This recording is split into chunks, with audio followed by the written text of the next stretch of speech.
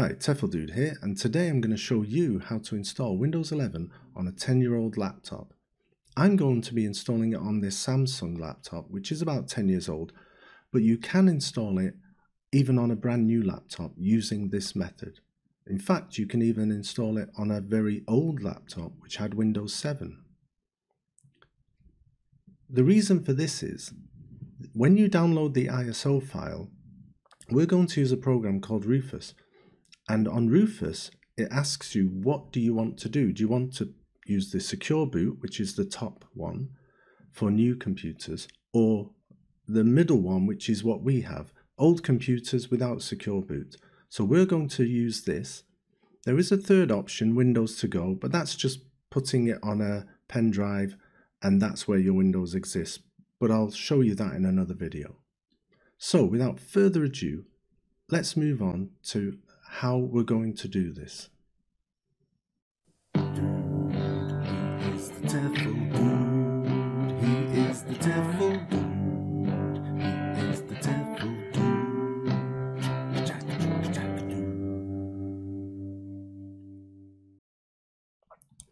So here is our PDF and I've made this, printed it, and I'm going to put it for you to download and you can see these are the simple steps we're going to do. So once you've looked at this, you'll have no worries how easy it is for you to do. So step one, just back up your data. I bought this separate SSD card and I took this one out, put a new one in so that I can install it fresh on there. And if anything goes wrong, I've got my Windows 10 here and I don't have to worry about anything. That's a good idea to do that. Otherwise, just back up your data to a pen drive. Now, when you do buy a USB stick, please make sure it has this blue lining in the middle. That means it's 3.0 and that's the fastest one. Please don't use 1.0. It might give you problems. Then we're going to download Windows 11 ISO from this website. Just click on this on the document I give you. Then we're going to download Rufus. Now Rufus enables us to put that ISO file onto the USB stick in the manner that we want. Now there are other settings there about NTFS, but that's for if you want to put it on a Surface Pro. Now I've made a video of how to put Windows 11 on a Surface Pro and you need to change the settings a bit. We're going to do the one for the laptops. Now with this MBR GPT, you need to know what your computer hard drive is. Most of them will be GPT. The older ones, very older ones, will be MBR. But a quick way to discover this is this way. Go into computer management and click on these icons and we'll be doing that too. Number five, we'll go into the BIOS. Now, if you're not sure how to do that, these are a list of computers whereby as soon as you press the button on, you have to madly click F1 or F2 in order to get into the BIOS. And that's where we go to change the settings so that your computer will allow you to boot from this USB stick. Don't worry, it's not it's not rocket science. Anyone can do this please have a go at it. You're not going to damage your computer. Another way to get into the BIOS is uh, go to your recovery, restart, and you'll end up in picture one. Or hold the shift, press the power button on, and you'll end up in picture one again. Simply click troubleshoot, advanced options, UEFI settings, restart, and you'll end up looking at the BIOS as we see it here. But like I say, the quickest way to do it is just simply press F1 and F2 madly as you turn on the computer, and that will direct you here straight away. And the way you navigate through this system is using the arrow keys or the escape button. And here are the things that we're going to do when we're in there. We simply disable the fast boot, disable any secure boot, open up any legacy, uh, we're going to move the USB to the top, so it's the first boot option. And then we're going to exit F10. We're going to do all that. It's going to be very simple. Now, once we've installed the Windows 11, it will be activated. If you had Windows 7 or 10 before, you'll see like this. This is from the version I did this before, and this is what I got. It's activated. It knows I had Windows 10 before. I'll also show you how to add these icons that are necessary. And one more thing, you don't need to have a Hotmail account. If you can see here, it says local account. So I'll show you a trick in how to do that. Now, finally, you're going to need your drivers. And we download this driver booster, which is free. You do not need to pay for it. Yes, you can, but you don't need to. Plus, it means you don't have to go to the website, download all the Samsung drivers or the Acer drivers. That can be complicated. You don't need it. Windows 11 has a lot of drivers that you already need. And Driver Booster, as you can see here, I updated 18 of the drivers for free. I didn't pay for it. And that's what you can do too. So without further ado, let's move on to doing it.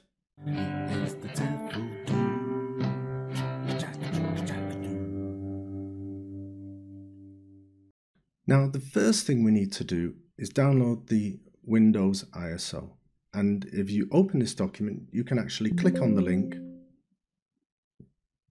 and it takes us right there. Don't click on any of these things that you see at the beginning. Just scroll down and go to select download ISO image. When you click the download, you'll get the option for which language you want. I'll choose the United States. And then you simply click the 64-bit download and you're given 24 hours to do that. So if I click it now, you'll see at the bottom here, it's downloading. However, I have downloaded it already. You can see it's going to take about 20 minutes, but I've downloaded it already. So let's cancel that. Now let's move on to the next part where we have to download the Rufus. So here, as we scroll down, click on Rufus. And here, simply download the latest Rufus software. Again, it's downloaded. Now, once it's there, I can click out of here. And all I have to do is type Rufus in the bottom here.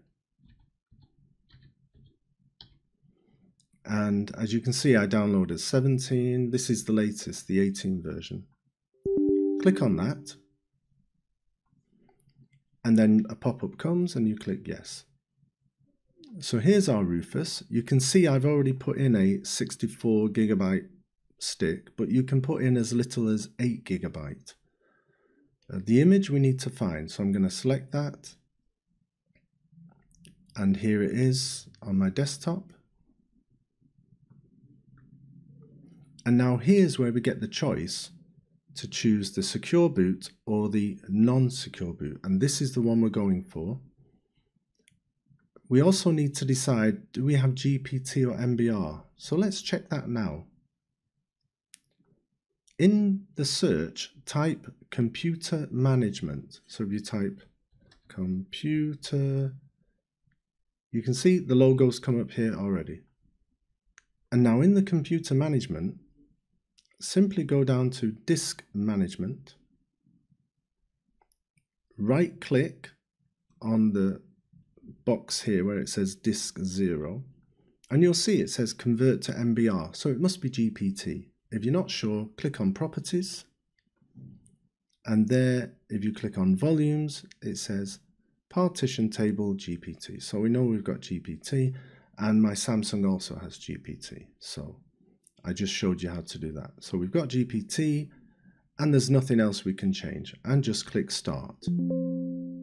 It reminds you it will erase all the data on the pen drive. So this is going to take a while. So while it's doing that, it will probably get to halfway and pause a bit, but don't worry, don't panic. Just go have a coffee, let it do its thing, come back in 30 minutes and it'll be ready to put into your laptop and there we will access the BIOS. So let's go and do that now.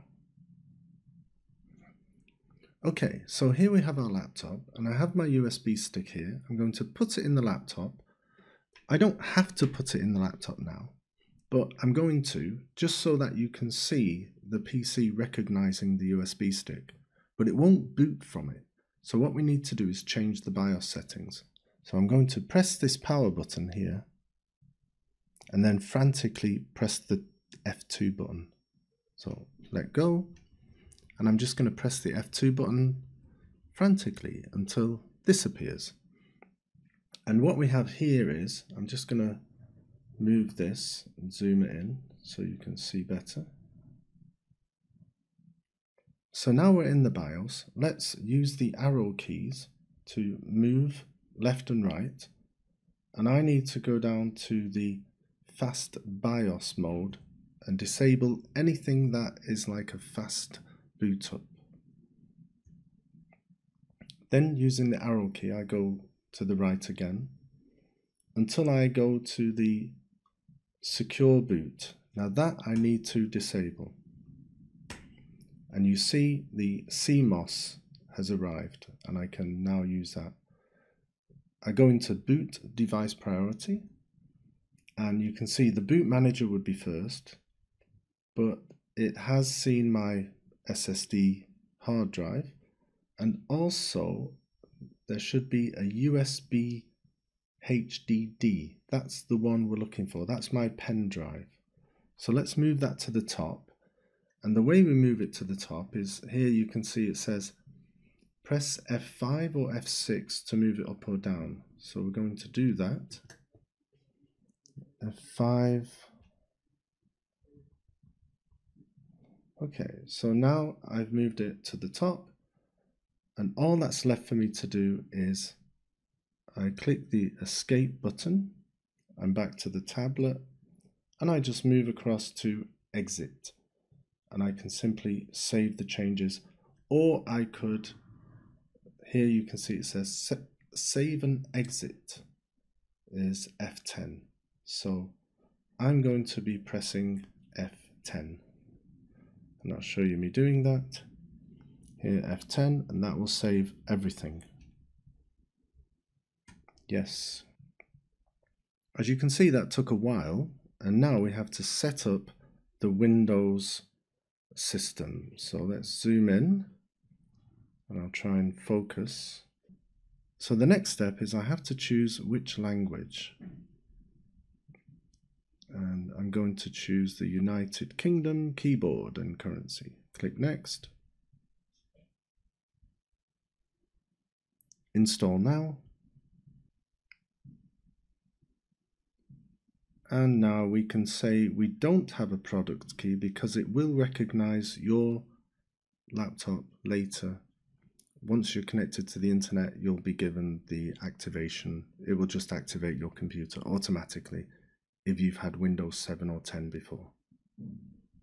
So click don't have a product key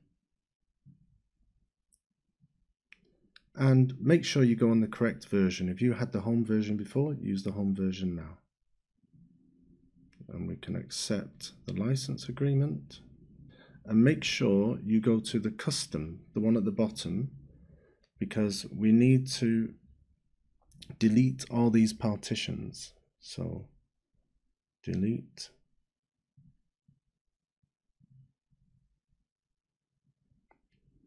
delete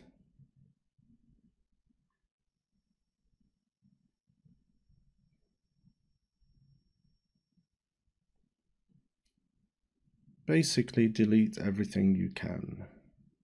So we have two hard drives here. This one is just a spare one that's inside the computer. We don't need to use it anymore for fast boot. Simply click on the largest one and click next. And now this installation will take about 20 minutes.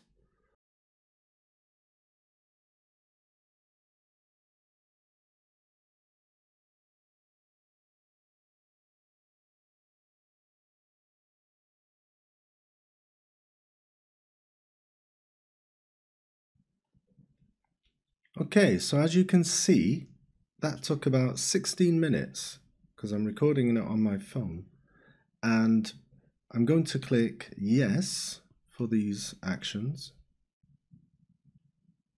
Now I did say I wanted the uh, UK keyboard, but I can change the keyboards later. Let's just get this over with.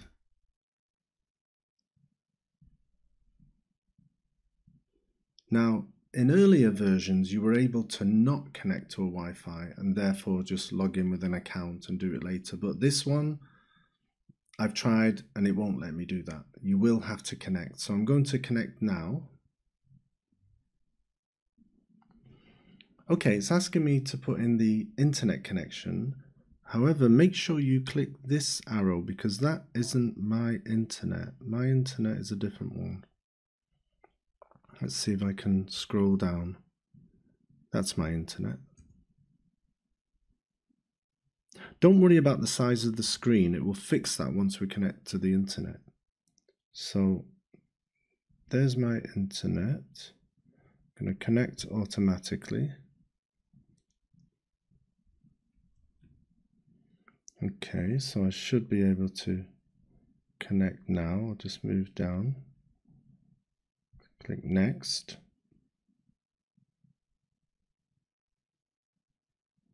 Okay, recognized. I'll click next. And once it's connected to the internet, it will recognize that the screen is too large and it will change it for you. Now remember, I've taken the USB stick out, so it's just running on its own you might say. And notice also this installation has taken about 23 minutes, so we should finish everything under in under an hour easily. Now name my device, I'll call it Samsung 2012, I think that's when I bought it.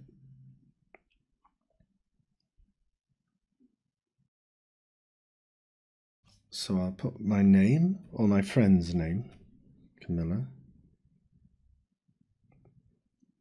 Next. I won't put a password this time. Next.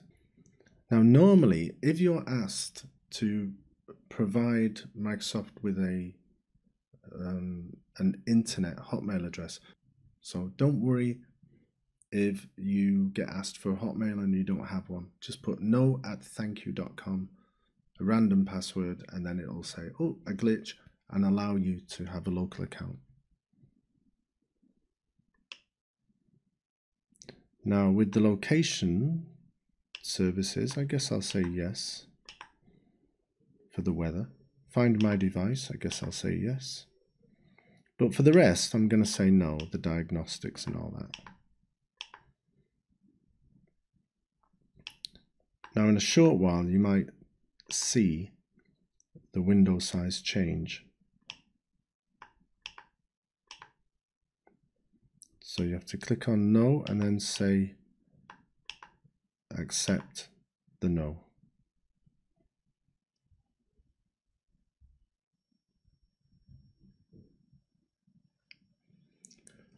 Ta-da! And there we have it. And you can see the screen size is really nice. There are some drivers already put on there by Windows 11. So the first thing we're going to do is check the activation.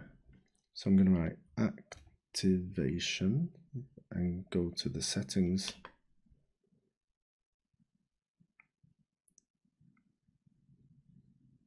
And it says, see, it's activated. And this is a 12 year old laptop, remember. So it says I'm activated, everything's hunky dory there. And obviously, we will be allowed to get updates.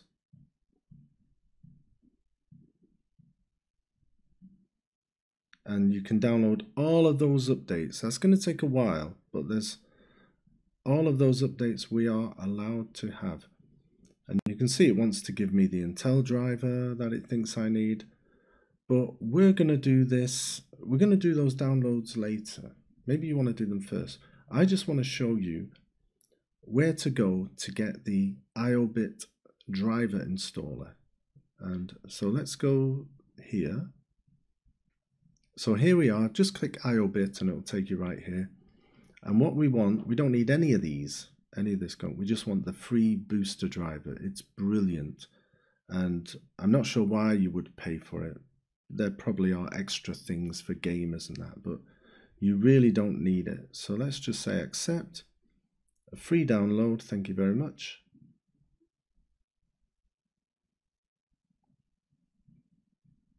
And I'm just going to click these three buttons here to open the downloads page so I can see where it's downloaded. Here it is. And in fact, I'll click on this and open the downloads folder.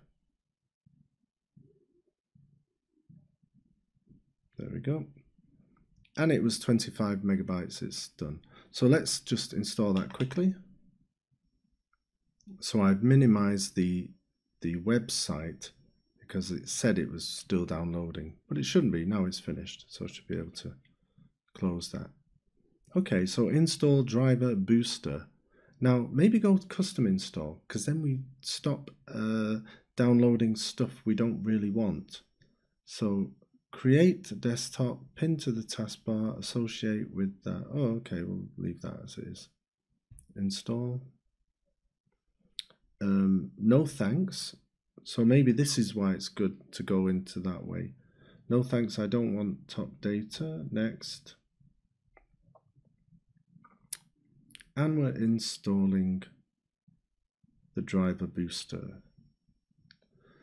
And you'll see as I showed you on the, um, the document, I had all 18 drivers installed. I'd, I'd done all this installation before as a dry run to see if it works, and it does work. So, but I'll just show you here how to work that.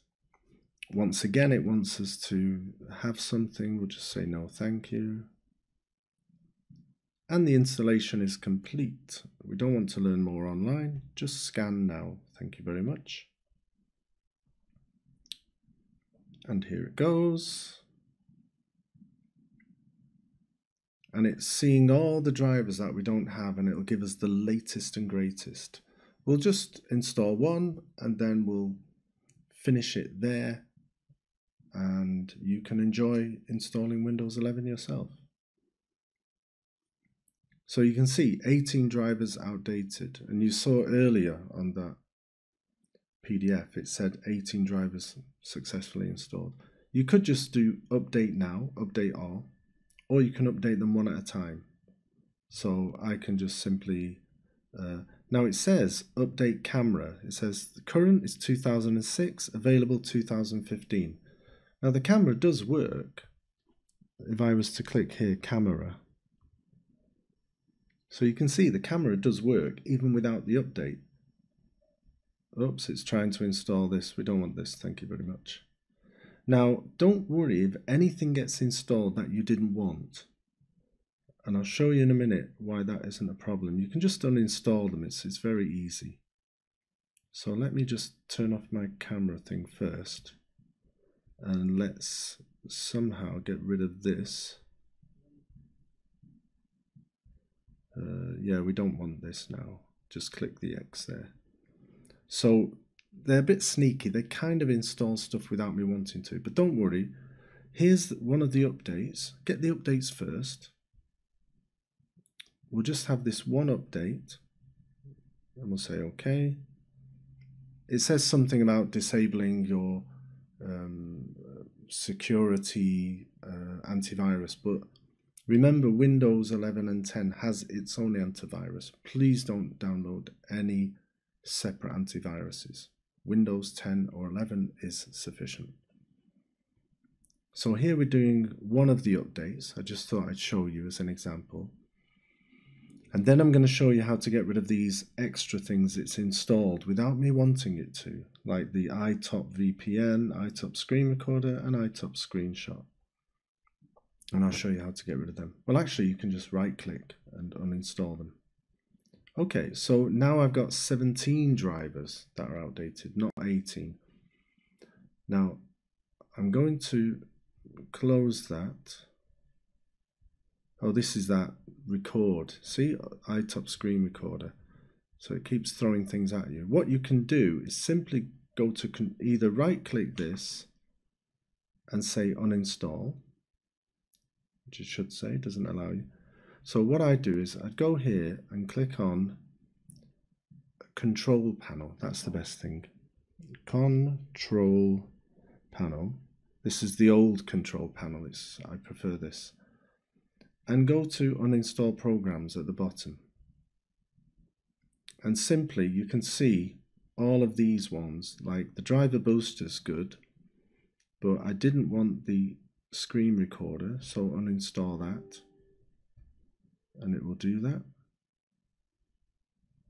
They say, yes, I want to completely uninstall it. And you should see that disappear from our screen. Yes. And you see it disappeared. The icon was here on the left and it's disappeared. Let's do the same for the iTop screenshot. Uninstall. Very unnecessary things.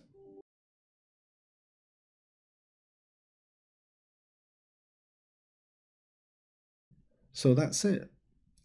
That's all the software done. That's your Windows.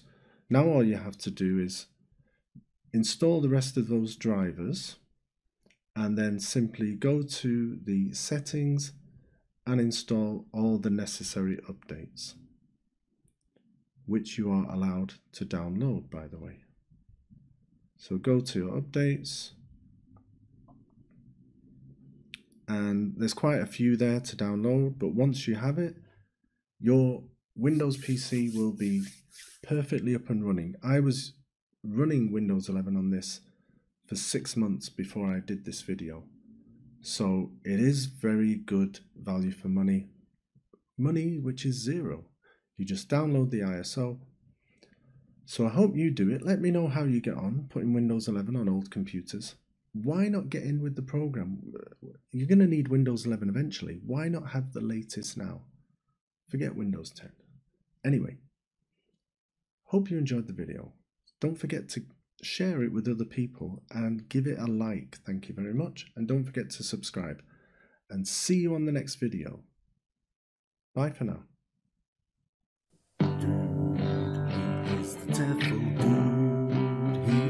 Dude,